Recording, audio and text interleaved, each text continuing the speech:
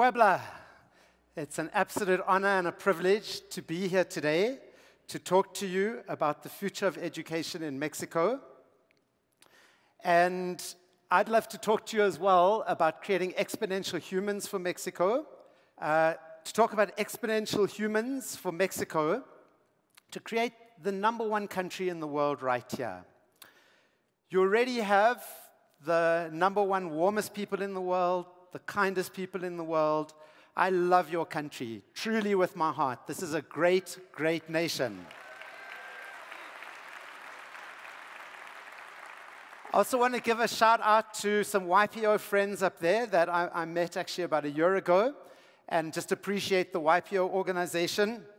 I've been a member of YPO as well. I want to say why education is something so close to my heart. And I think in Mexico, people understand the importance of education. We see with the war going on right now, uh, two million people have left Ukraine as refugees uh, over the last month, five weeks. My family were refugees out of a country called Latvia uh, during the Second World War. They jumped on a ship, they arrived in South Africa with absolutely nothing. Our family were very poor growing up. And me and my three older brothers, we slept on the floor on very thin mattresses. And my father worked nights and weekends. He had three jobs. He did everything he could uh, to save the money so we could all go to the best private schools and go to university. He got seven degrees. My oldest brother got uh, seven degrees. My next brother's got five degrees. I've got six degrees. All of us got so educated, and we saw how that education changed everything.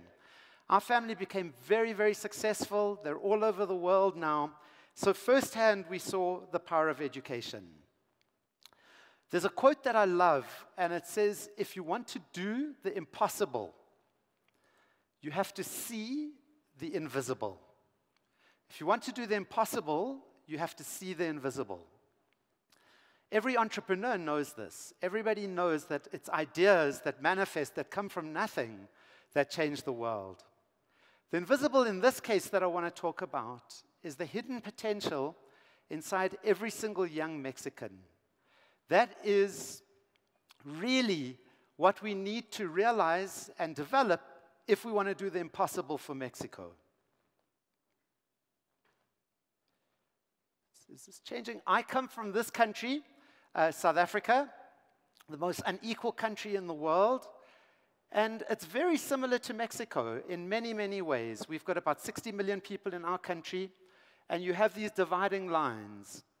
And what we need to do is move that highway all the way to the right. And the only way we're going to do that is if every single person living in those equivalent of favelas, etc., were to develop their full potential. And what do we know all of us who've been entrepreneurs, who've built things, every single problem has a solution. This problem has a solution. There's no doubt that that can be changed. And we set out to prove that that could be changed. This inequality in our country leads to very great anger. And these are pictures from our newspapers in recent years um, in South Africa. And you see that jobless youth are losing hope. In South Africa now, we have the highest levels of youth unemployment in the world. Between the ages of 18 to 24, we have 74% youth unemployment. Just imagine that. It's very different still in Mexico. You've got very, very low levels of youth unemployment. We've got 74%. That means three out of every four young people coming out of the school system is unemployed. And they end up on the streets and they end up angry. And this leads to tremendous violence, just like you have violence in Mexico. This leads to, we have the highest rape rate and woman abuse in the world. Uh, Bob Marley said in his song, Redemption Song, a hungry man is an angry mob. And this is what we see. And when youth have nothing to do, when nobody wants them, nobody needs them, they just feel unappreciated, they're on the streets, what do they do?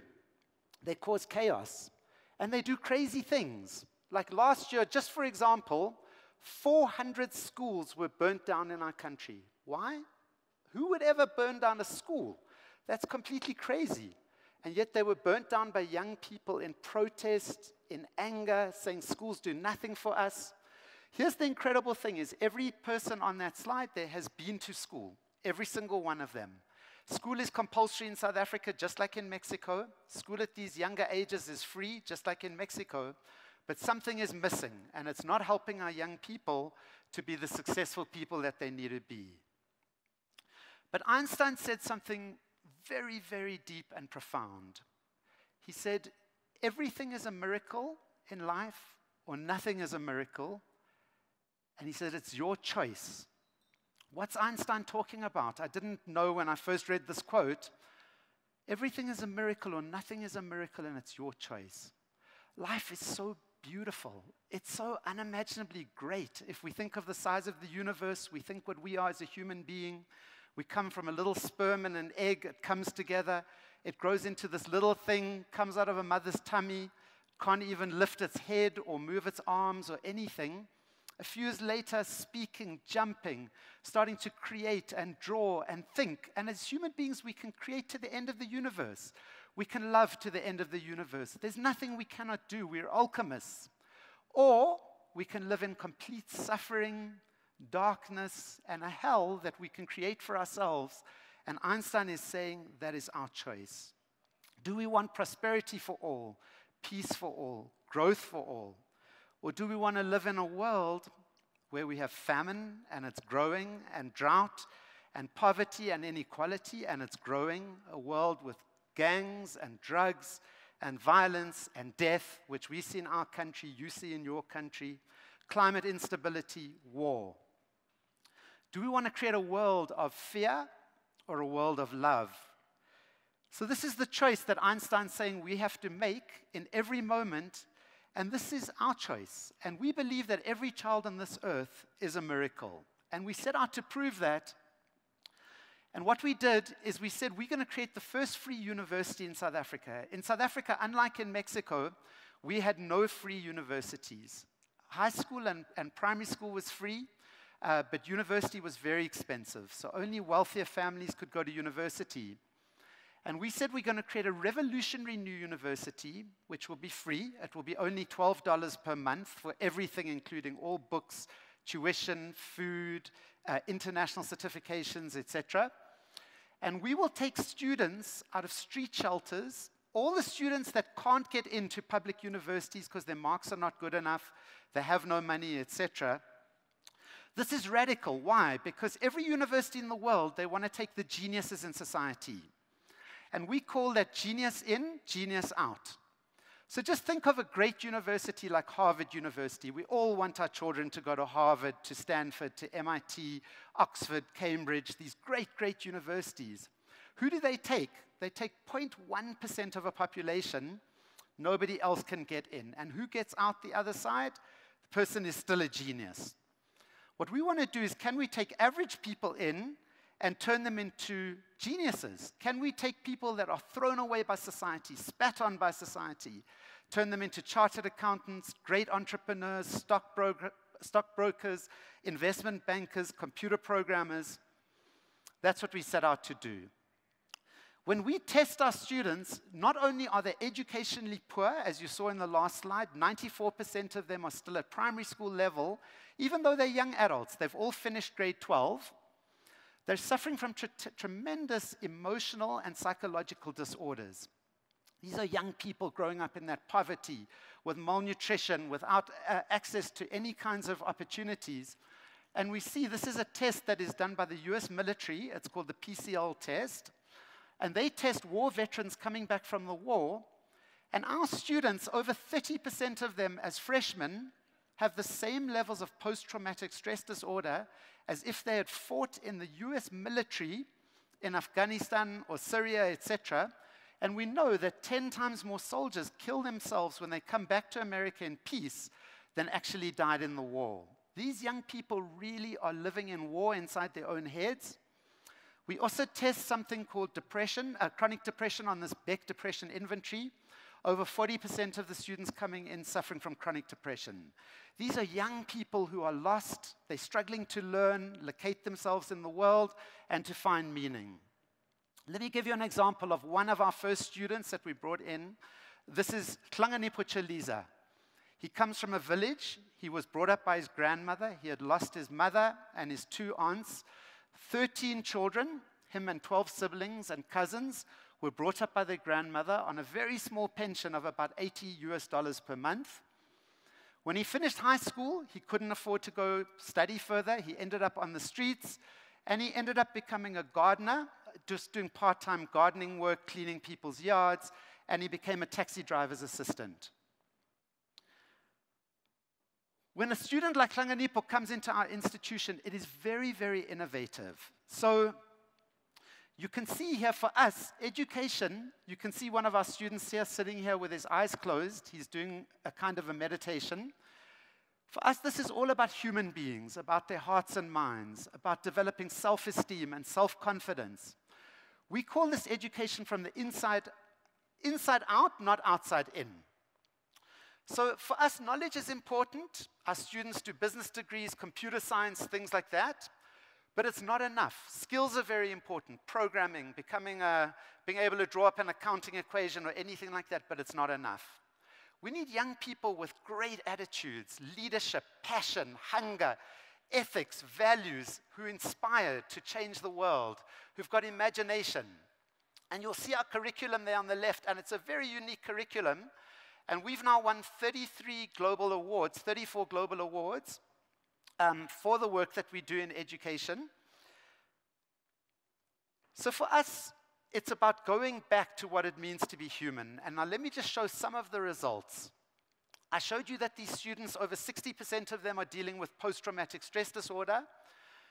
This is a test, uh, a study that's been done over a five-year period on our students, comparing them with students at one of the best universities in South Africa, so the, the line at the top there you can see is students at this excellent university who are studying psychology, so they're learning about the mind from a book.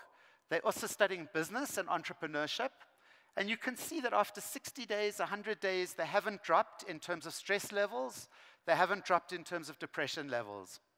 Every one of our students within 60 days is no longer depressed or on this PTSD scale. That's a very, very exciting result. It's now been published in an international British journal called Psychology Reports. And what does this tell us? It tells us a human being is not a fixed thing.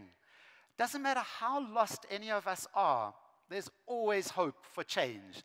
That is what this picture tells us. So I told you about that young boy, um, Hlanganipo. Here he is today, 12 years later. He phoned me up three years ago on Christmas Day, and he said, Sir, I want to just say thank you to you. And I said, Why, Hlanganipo, tell me your story? He said, You saved my life. He said, I grew up with these 13, 13 of us with our grandmother. He told me the story. And he said, One day I was up a gutter, and my old school principal came running down the road, and he said, Hlanganipo, Hlanganipo, You've been awarded a bursary. You're going to go to this university in Johannesburg. And he came to our university. Here he is today. He has gone from earning $400 a year, which is what he earned as a gardener. Today he earns $150,000 a year. He's gone from $400 a year to $150,000. That's what, about 300 times increase in his salary. This is the power of education. Thank you. The question is, is, is that a fluke? He was one of our first students. Can we do it again? So when he phoned me, I said, let's do a case study on where you're working. He's working in one of the biggest banks in South Africa called Absa Bank. It's the third biggest bank. They've got 30,000 employees. This bank, we found, has employed over 400 of our graduates. Of these 400 graduates, over 50 of them are in senior management or above. Every one of these 11 people are graduates of ours who've come from the streets, and every one of them is a millionaire today. So the question is is that a fluke? I don't know if you know Accenture. I think you've got Accenture in, Me in Mexico. It's a very difficult uh, consulting firm to get into. We approached Accenture about six or seven years ago and said, Would they employ any of our graduates? And they said, We must be crazy. They only take the top 10 students from the number one university in the country and the number two university in the country. To cut a long story short, Accenture have now hired 200 of, 200 of our graduates in the last five years. This is more than from the best private uh, and public universities in the country. And yet, who have they been hiring? Our students. They're hiring people who've been gardeners, who've been picking flowers and fruit in the fields. I'll give an another example. Cisco, the global networking company, they do an annual competition, and this is done by universities around the world. It's never ever been won by an African, not from Cape Town to Cairo. One of our students called Raymond, who had never touched a computer in his life when he came to us, he was the first African to ever win this global Cisco competition. He now earns about 4 million rand. He's a multimillionaire now, works for Vodafone, came from absolutely nothing. So, is it a fluke? This is where we're up to now 19,000 individuals. We've taken 22,000 youth off the streets from very, very poor communities who can't get into the public institutions. 70% of them are women. And these youth are going to earn billions of rands over the course of their working careers. They're chartered accountants, they're bankers, they're computer engineers, etc., and they're supporting 150,000 family members between them. Why is this exciting? It's exciting because I mentioned to you that South Africa has the highest level of youth unemployment in the whole world between the ages of 18 to 24. It's very hard to get young people into jobs in my country. And yet, 95% of our graduates have been employed, and more importantly, over 90% of them have kept their job beyond the first year and then gone into permanent positions. This is very, very exciting for us, and it tells us that every person has genius in them. Every person has infinite potential in them. that's what we set out to prove. So, our goal is to do this 100,000 times so that no one in our country or anywhere in the world can say that one human being is better than another human being and that human beings don't have infinite potential. So, now let's talk about Mexico for, uh, uh, for now. The World Trade, or, or, uh, the World Trade Organization and the OECD rates Mexico as the number one hardest working people in the world. That is, I think we should clap because that's an incredible achievement.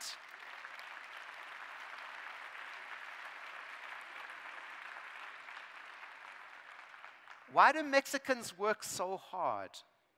They work so hard because they love their families and they want to provide for their children. They work so hard because they want to give their families everything.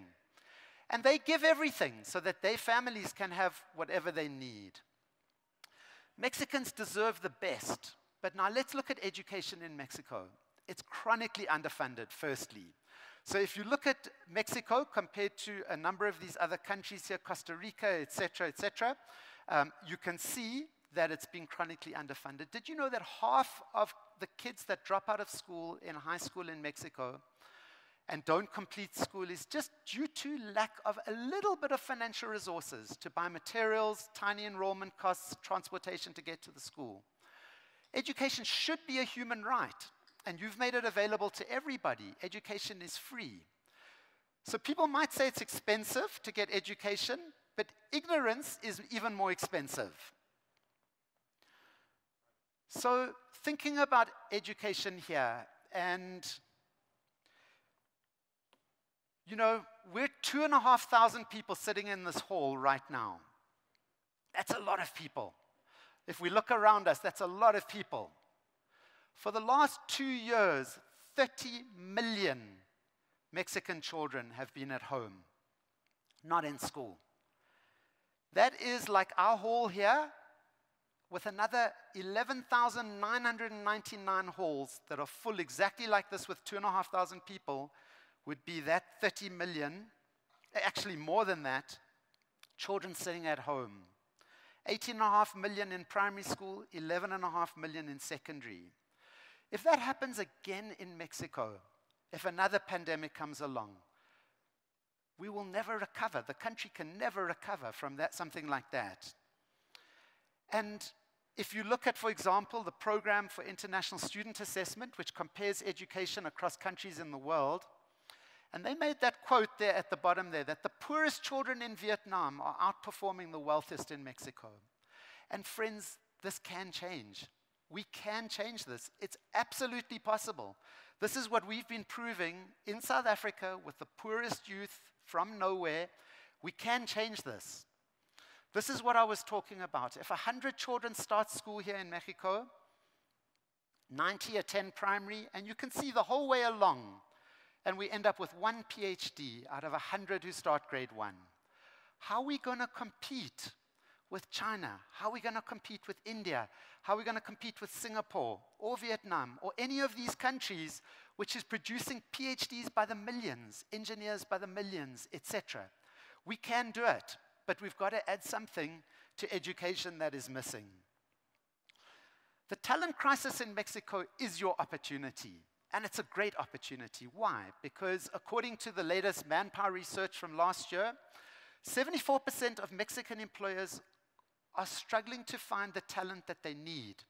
What does that mean? It means if they could find the programmers, the experts in IoT, the engineers, everything else, there are jobs available. And yet there are so many underemployed young Mexicans that if we were to train up to fill that gap and close this mismatch, we would be able to have millions more youth in higher level jobs coming into stability in the middle class, not just in the informal sector. So the last thing I just wanted to share is how can we think about it? What do we need to do in education to create this revolution in Mexico, to create these exponential humans that we need to get this country to the absolute top of the world?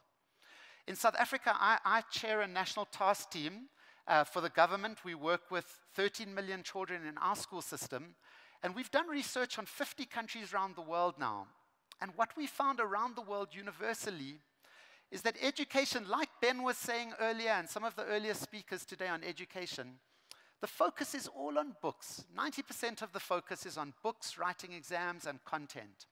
But 9% of the focus, but where all the money goes, is on how the students learn, which is the teachers, the process of learning, or maybe it's the internet, etc. But we're spending 1% or less of the focus on the actual human being. And this is what we need to change because who is learning? The revolution has to be here in the minds and hearts of every single young person. This is what we have to develop. So, in our approach to education, what we say is we have to flip Maslow on its head. Maslow says we start with basic needs, and then much later in our lives, when we're 65, 70, we think about our life purpose why am I here? Self actualization. We say, no. Let's start a child's educational career with finding their life purpose, with self actualization. If we start with that, then everything changes. Content is important, we've said that, but it's not enough. Skills is important, it's not enough. All the biggest think tanks in education in the world, in uh, UNESCO, etc., they talk about what, you know, competency-based learning, higher order thinking, metacognition, meta-learning, etc. This is creativity, complex problem solving, etc.